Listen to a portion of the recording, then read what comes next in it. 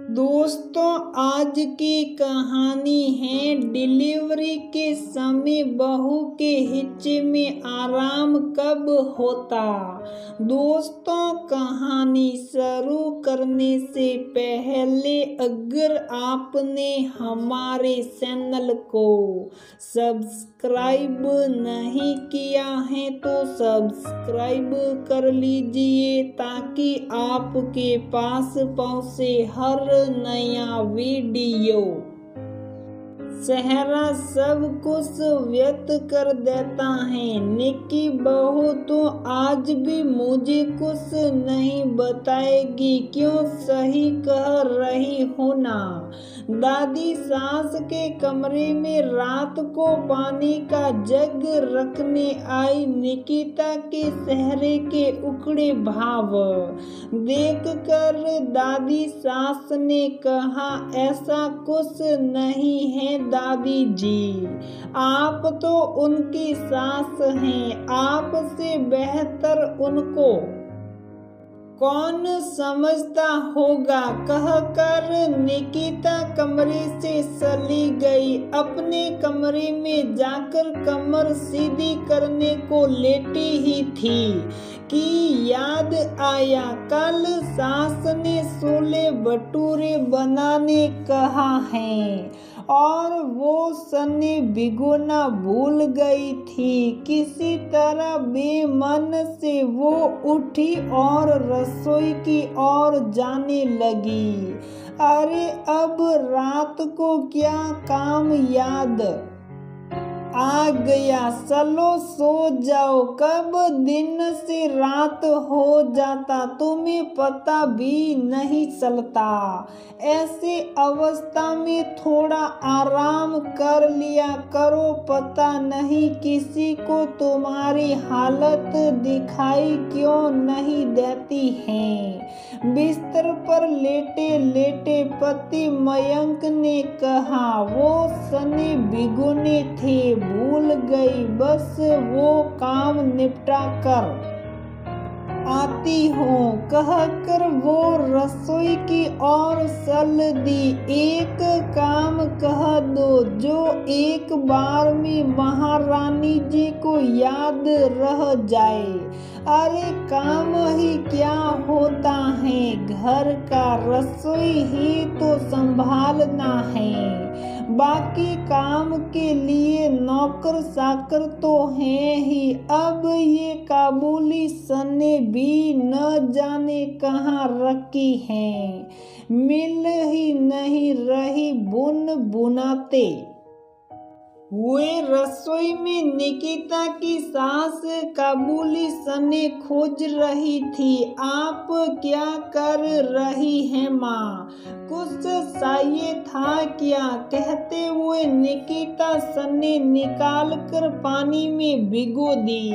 यही काम जो तुम भूल गई थी, करने आई थी। कभी तो एक बार में कर लिया करो। जब तक चार बार ना बोलो, काम नहीं होता, सास ने कहा। और रसोई से चली गई। निकिता अपना सा मुँह लेकर कमरे में आई तो मयंक ने कहा, अरे क्या हुआ? सहरा ऐसा क्यों बना हुआ? फिर माँ ने कुछ कहा, ये माँ भी ना जाने कब समझेगी, ना सास को समझी, ना बहू को समझ रही, पता नहीं पापा कैसे से सब कुछ बर्दाश्त करते रहते। देखना जिस दिन पानी सिर के ऊपर हुआ तो घर में दो हिच्चे ना हो जाए। मयंक ने गुस्से में कहा, आप बिना बेकार में माँ को कोस रहे हैं। किसी किसी की आदत होती है। जब तक काम पूरा ना हो जाए, वो पीछे पड़ जाते। चलिए अब सो जाइए कहकर निकिता सोने की कोशिश करने लगी। निकिता का पांचवा महीना चल रहा था। प्रेगनेंसी में कोई दिक्कत नहीं थी।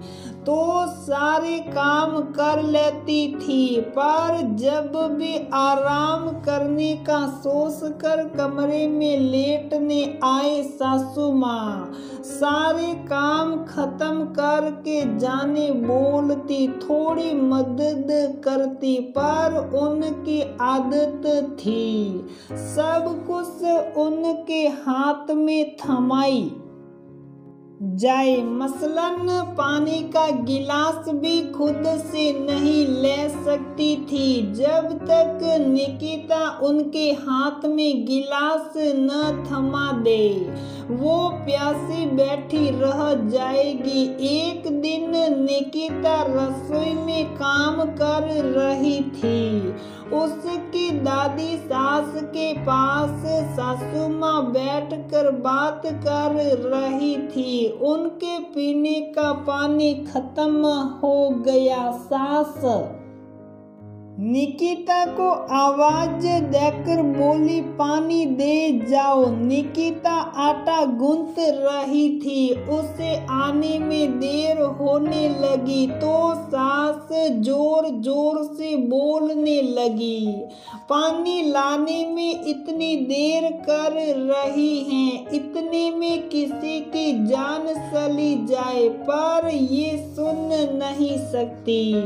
निकिता जल्दी से हाथ धोकर पानी लेकर आई। जल्दी जल्दी कमरे में पहुँच।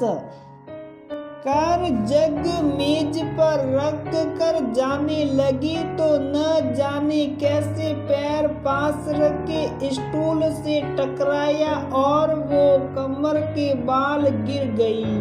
दादी, सास और सासू माँ दोनों मिलकर निकिता को सहारा देकर उठाई और सासू माँ बोली देख कर चलना चाहिए ना कौन सा एक्सप्रेस ट्रेन पर भागने की जल्दी थी वो? माजी घैस पर सब्ज़ी सड़ा रखी थी। आप जल्दी आने बोली तो मैं जल्दी जल्दी आ गई। इस हालत में जल्दी जल्दी नहीं हो पाता माँ। मैं कोशिश तो करती हूँ, पर आप जैसा चाहती वो मुझसे नहीं हो पा रहा। कह कर रोमांची हो, निकिता वहाँ से चली गई। देखा बहू, आज निकी बहू को कुछ नहीं हुआ। पर तुम्हारी इस आदत की वजह से उसे कुछ हो गया तो तुम खुद को माफ़ कर पाओगी। मैं तो पहले भी तुमको समझाया करती थी, हर वक्त सरपट भागते भागते काम मत करो। पर तुम तो मुझे भी सुप करा देती थी, आज इसे कुछ परेशानी हुई। तो मैं मयंक से कुछ ना से पाऊँगी तेरी इन आदतों। से वो भी परेशान रहता है, पर माँ हो ना बोल नहीं पाता।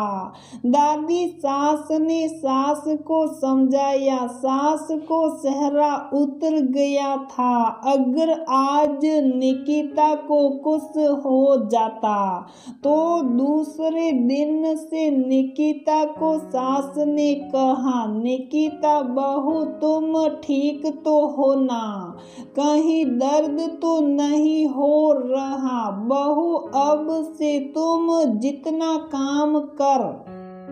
सको करो, फिर आराम कर लिया करना। आज से भाग भाग के काम करने की ज़रूरत नहीं है। बेटा, मेरी आदत है। जो भी काम करने हैं, वो खत्म करके सहन पड़ता। वही मैं जब ससुराल आई तो सास को कहती, जल्दी खा लो, नहा लो, सब परेशान समान होते। पर आदत थी जो जाती नहीं पर कल मुझे लगा अगर इस जल्दबाजी के चक्कर में कुछ हो जाता तो खुद को माफ़ नहीं कर पाती। सास की बात सुनकर निकिता के चेहरे पर आश्चर्य के भाव आ गए। निकिता, सास की बात सुन खुशी से दादी सास के कमरे में गई तो दादी सास ने कहा, आज तो निक्की बहू का चेहरा देख कर लग रहा है सास।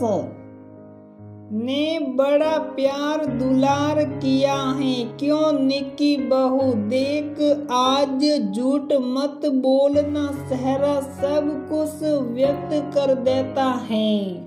और तेरे चेहरे पर ये खुशी बड़े दिनों बाद आई है। आप सच में ग्रेट हो, दादी। मेरे चेहरे से पकड़ लेती हो, कब खुश हो तो कब दुखी। हाँ दादी, आज मैंने कहा भाग भाग कर काम नहीं। करना आराम भी कर लेना। सहरे पर मासूम और भोली सी मुस्कान लिए निकिता ने कहा। और दादी सास के गले लग गई। कुछ लोगों की आदत होती है, जो काम करना वो खत्म करके ही दम लेते। ऐसे में वो दूसरों से भी यही उम्मीद करते। पर सब का काम करने का तरीका एक जैसा नहीं होता ऐसे।